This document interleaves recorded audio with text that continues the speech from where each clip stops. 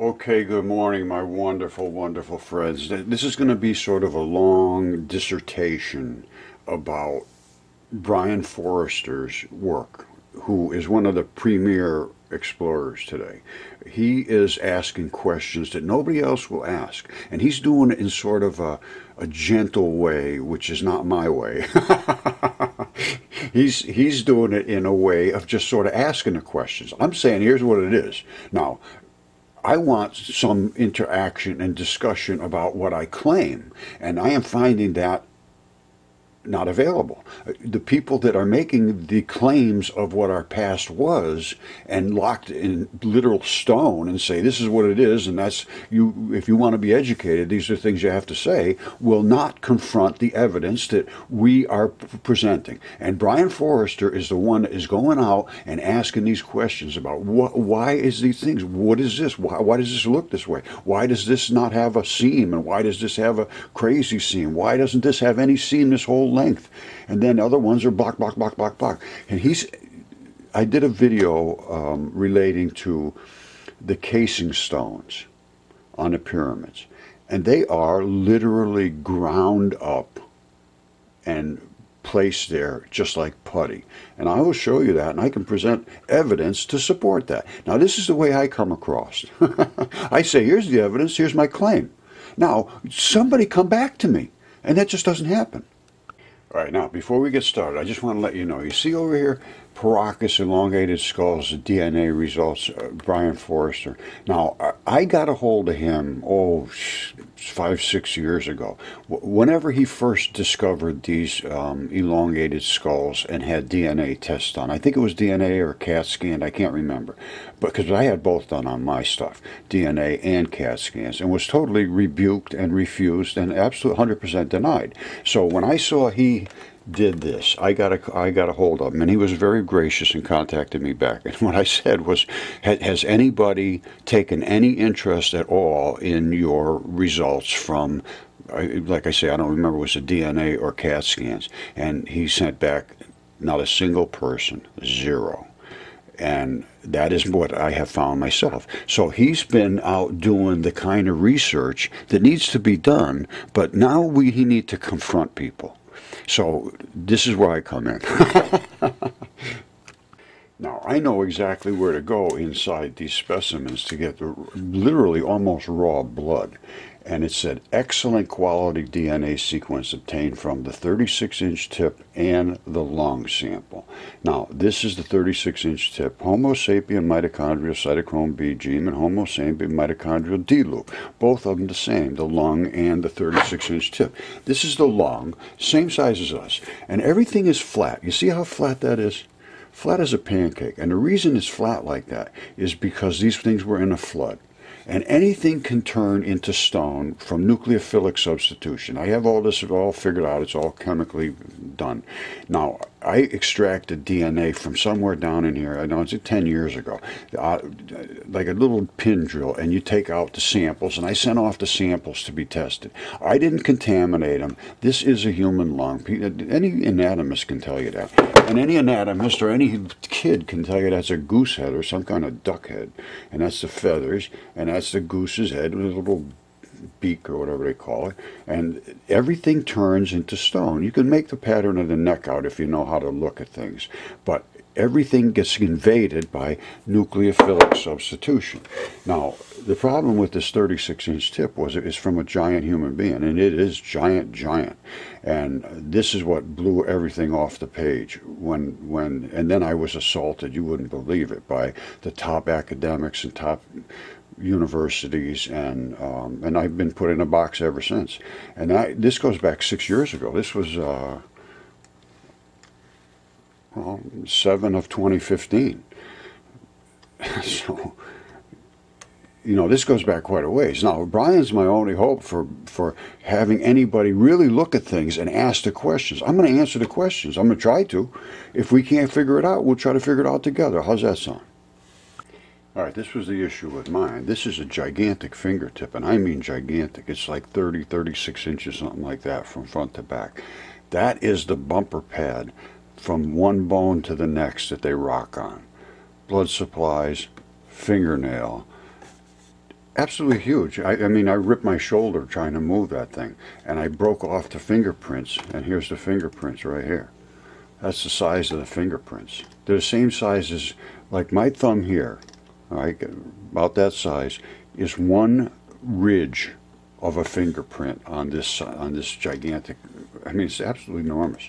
And I went up inside the flesh of and uh, the artery and got that excellent quality DNA. And of course, the other one, the, the lung, was just just gushing blood. And I have other ones that literally do gush blood. Look at this. I mean, I have so much stuff; it's ridiculous. This is the one I sent uh, uh sent the sample from, from that red spot right there. I, I went up inside there, drilled a hole. I can't remember what, what I did, but it, I, I remember I got it out of that red spot. And this thing had blood all over, blood leaking everywhere. Um, and you could get blood out of rocks. Everybody's getting it now. There, it's, it's, there's, no, there's no. Look at this. The blood's running out of these rocks. And what's what's behind there is the fibrin, which is the clotting fi fabric, and then below that is the two blood vessels, the, the black and the red. And here they are right here. Uh, here's the scab as I'm removing it from the what they call that is fibrin, clotting factor fiber, and that allows the bloods to, to make scabs. And here's where the two holes are. And you see this? That's the red blood side. See the red? That's the black blood side. That's the vein. And they have to move. You have to have blood servicing all these things. So as your bones move, these little vessels have to do all these kind of things. They do them inside these little foramens so they don't get all ripped up. All right, this one here was, uh, that's another one on my property. I have, I have 10 acres of absolutely 100% saturated with mud fossils. This is a left hand, and if you put your left hand out like that, you have the same tendon, you have the same bumper pad that runs around. This is grip skin. You see the silver stuff? That, that silver stuff is what peeled off, like just like my other one where I knocked off the, the piece and showed the um, fingerprint. This is the same stuff you know, falling off here. That is a tough, tough skin. This is not. You don't have that tough skin here on your bumper pad part of your your hand. Now, I and this was also DNA tested. That's human, and this is a fingertip from it. I have all kinds of stuff from this one. Um, the other ones I just ha have little bits and pieces. This one I have quite a substantial amount from from this particular giant, and that's three feet wide.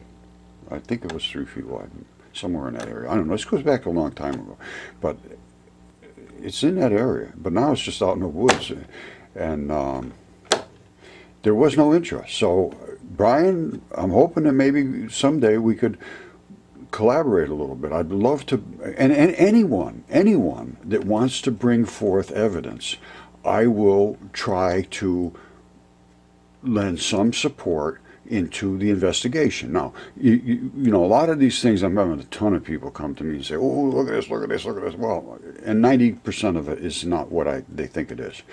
They look at just one side of this and one side of that. No, you have to look at everything. Even like this goose. If I looked at that side, I'd say, well, that's just a flat piece of mud. Well, that died in a flood, and that's why that side is is, and you could tell the neck went down and the neck laid flat on the ground like this and it, it snapped off when it, was picked up or, or somehow came apart. But it, you cannot just take one little shot of something and say that makes makes the deal. You have to figure out where the blood supply. And I can know where the blood supply. See that right there? That's the artery. That's and then you could get you could get blood out of that artery right there. And the vein is over on this side. The vein plugs up. You don't see them. Uh, the way you see the arteries. But that, I actually got some blood out of there just to see it and look at it in a microscope. It's blood. And, and, and you, you could drill deep into there and you'd get fresh blood out of there. Because that's what happens. It gets sequestered. You see that? You see that brown looking stuff? I don't know if you can see it or not. But that's, that's blood. And if you go and drill it in there, you're going to get fresh blood. Fresh goose blood. Okay, I guess I'm not going to get too deep into it today, but here's here's why I love the stuff that Brien does. He asks these questions. He sees the things nobody else sees. He's got eyes that work. Watch. And this is just a view to show you the incredible scale of the second pyramid. Now, what I want you to watch is this variable surface. It dips in and out. They took, and it's not the same materials as what the casing stone is. They took the casing stones because they could work them. They were a homogeneous stone. They weren't all fragmented and and so forth like this kind of stone that they really could not work as well. This is, and the reason they could work it is because it was poured in place just like concrete. Watch. Now here we I am walking along the first course. All right. How would that fill in like this? And it's a different material than this. And, and it happens all the way down the line here. Here's another one right there. That's not the same as this. This is not a natural stone. This is ground up and put in place. And you can see that the casing stone actually doesn't fit that tightly into what we presume is the original construction, which is odd. This is what I like about Brien. He brings up these things. This is odd. Why is this like this? They don't care. The people that are supposed to be the, the experts just dismiss these things. That's not, that didn't happen by accident. I mean, it's insane to think that that that somebody chiseled a stone to make it fit in there. It was obviously poured in place.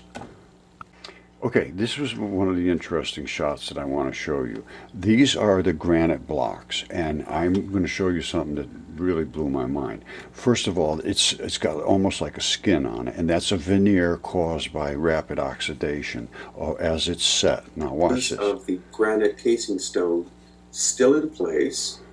All right, this is the gray. This is the red.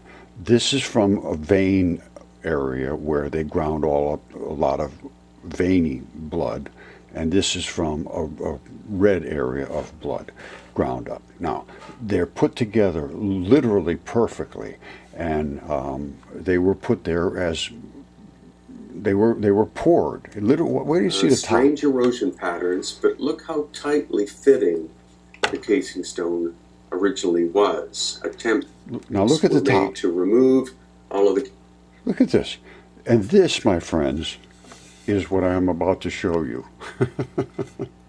you see that? they were grinding people up with these kind of wheels to make building materials out of them. I think this guy made my counter. Okay, this is what they were grinding up. Is muscle, bone, and flesh. The flesh just turns into muddy, uh, like clay, and these chunks though do not. They they are a little different. And then bone has a little bit of a difference too.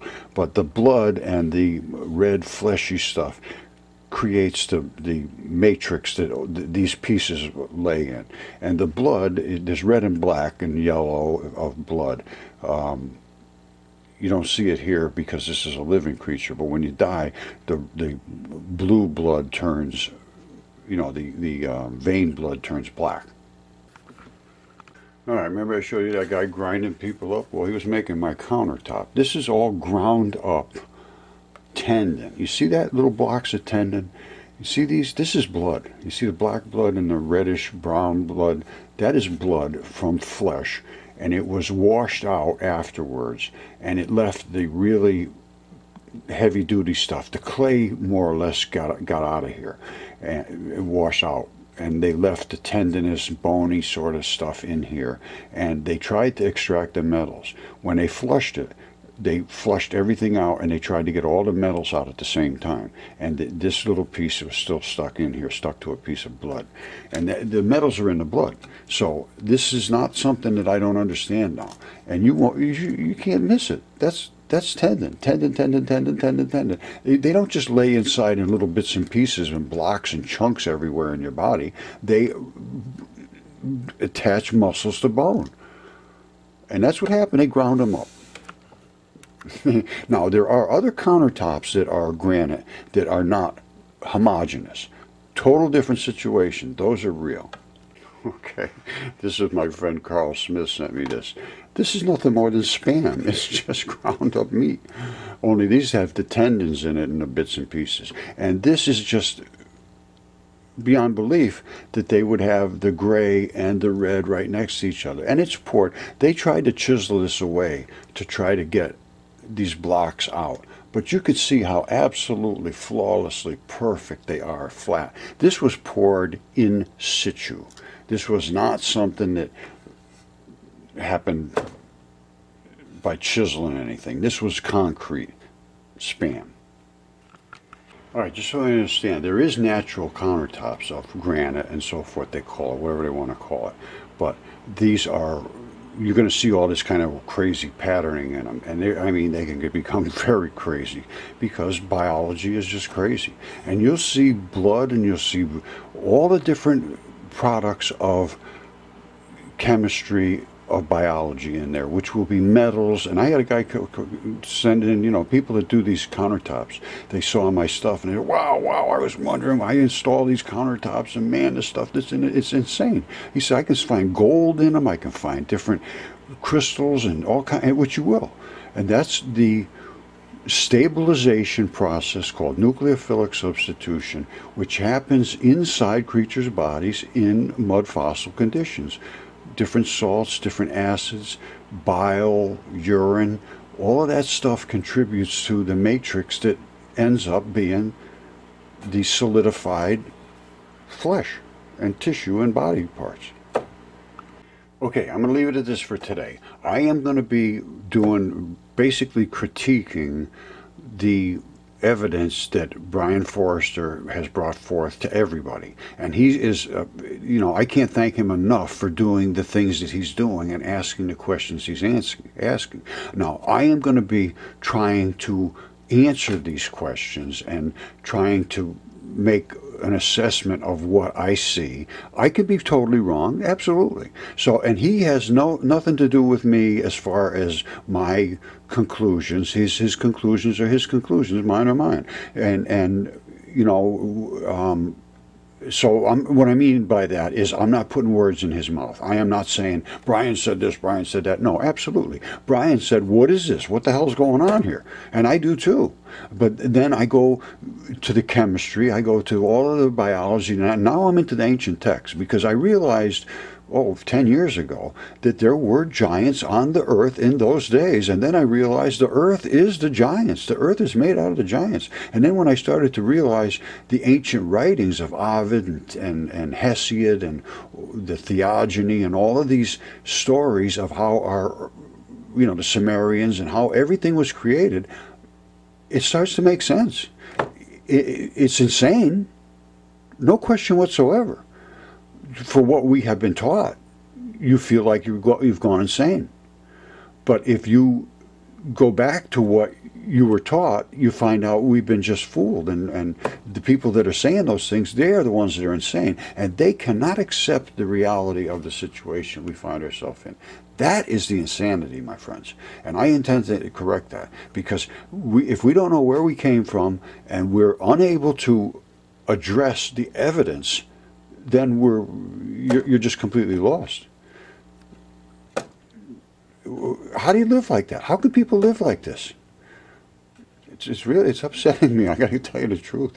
I've been ten years with so much evidence that not a not, not a ten year old could possibly deny it and and we it's being denied by all the PhDs who are perfectly happy deluded.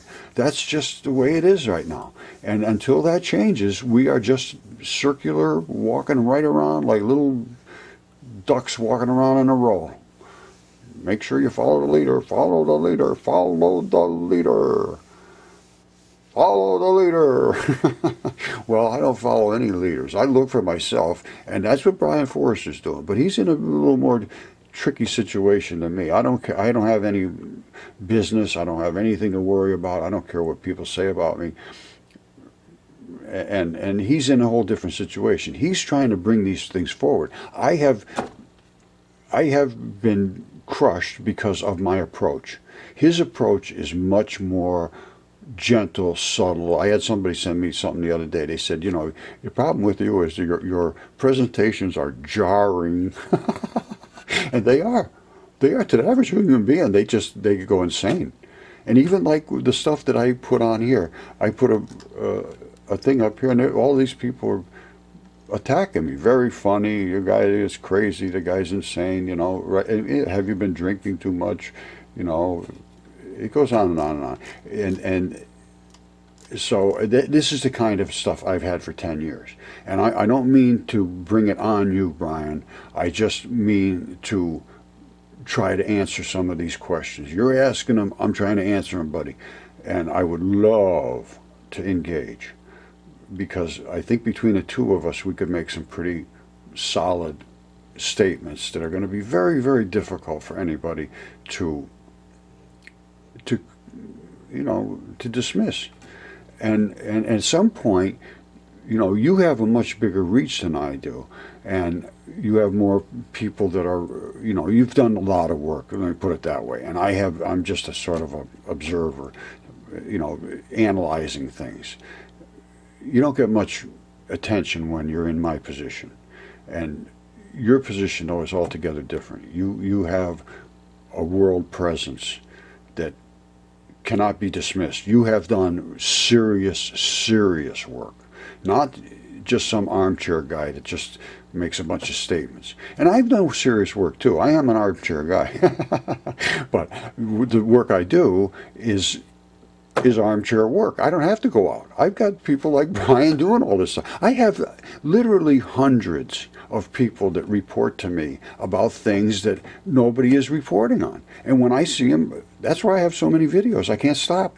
Just I, am I'm, I'm just overwhelmed with things every day. So I figured my best opportunity here is to stick with Brien and just go through each one of his because he's there on site asking these questions, and I'm going to try to answer them.